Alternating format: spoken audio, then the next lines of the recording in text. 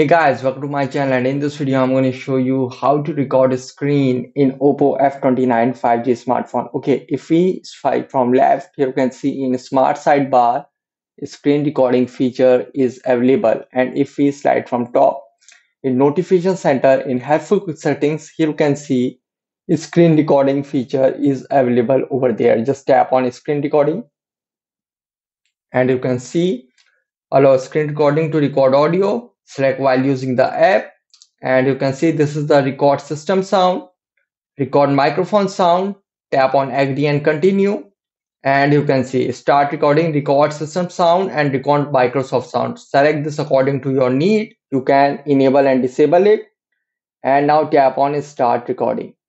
So as you can see on top recording is a start Currently, the screen of Oppo F29 5G smartphone is recording. Currently, the screen of Oppo F29 5G smartphone is recording.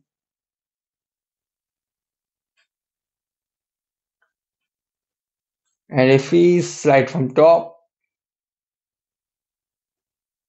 and here you can see this is a screen recording toolbar. You can also mute and unmute the microphone and system sound. And by tapping over there you can pause the screen recording and again tap here to resume it. And to stop the screen recording simply tap over there. So you can see save to photos tap on it.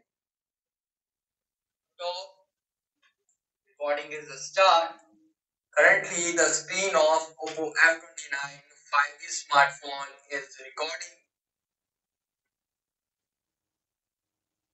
Currently, the screen of Oppo F29 5G smartphone is recording.